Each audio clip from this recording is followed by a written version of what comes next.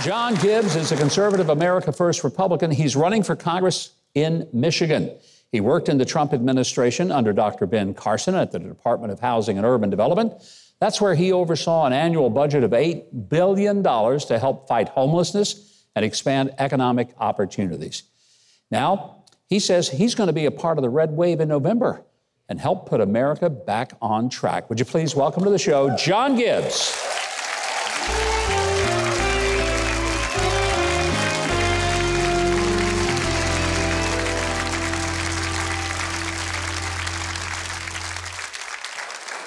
John, you have a pretty amazing story. You got out of Stanford, Correct, yes. which is tough to get out of because it's really hard to get in it. Sure. And you worked for a while in the high tech industry and worked for a few struggling little companies like Apple Yes. uh, in cybersecurity. Right. And then you wanted to do something pretty amazing, get in public service. So you go to Harvard uh, School of Public Administration, you get an MA there, you end up in government. You go to Japan, oversee missionaries there. I mean, your life is kind of an amazing combination of things that don't necessarily fit together. Yeah, you know, when you look back at it, it seems to kind of make sense looking back, but at the time, you know, you're kind of feeling your way through, and it's just so great how God opens doors and you walk through. Uh, Governor, you've had such a great life yourself. I'm sure you've seen that phenomenon, how you get ready to undertake something big and you say, okay, here we go. It's me and Jesus and all the great folks out there praying with you. And you go through and you see that God opens the door and you walk through it and you ask God what's next and he does the same thing over again. So it's really quite a great journey and also uh, a tribute. Very thankful to how I was raised by my parents. You know, they didn't go to college. My sisters and I were the first in our family, and they really focused on education for us growing up. So just very thankful for that as well. But it's been a wonderful journey. Well, it's taken well with you, John. I mean, you didn't just get a decent education, you got one of the finest educations in the country. You speak Japanese fluently. I do, yes. Now, how on earth did you take up Japanese? Was that part of the high tech world that you were in? You know, when I was in high school, I was really into Japanese animation.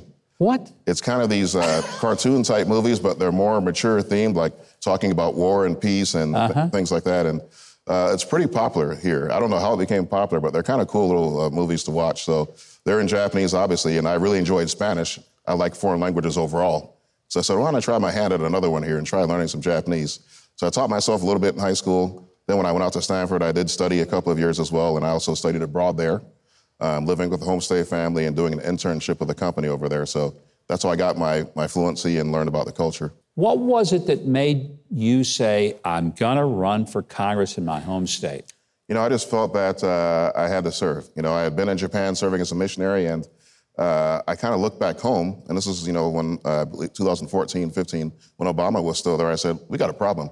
If I don't switch my mission field, as it were, from Japan to public policy, we're going to be in big trouble. So that's how I kind of got into the administration. But I said, after our administration ended, maybe I'll be a regular American again, you know, work for a think tank, not get attacked by CNN Yeah. anymore, you know, et cetera.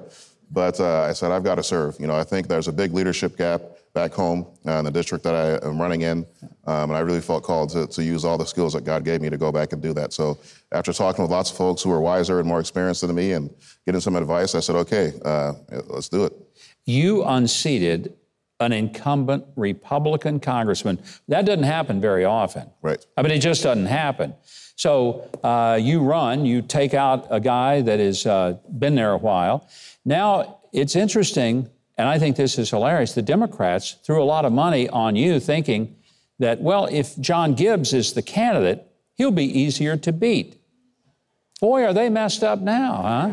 Yeah, I mean, they uh, spent a whole bunch of money. Uh, you know, who knows what they were trying to do. Uh, the amount they spent was relatively small compared to what was out there, but they figured I'd be easier to beat in the general election, um, which is actually false. We have all the data showing that's not the case. But hey, never interrupt your enemy while he's making a mistake. so, uh, Good point, John. Good point. Very true.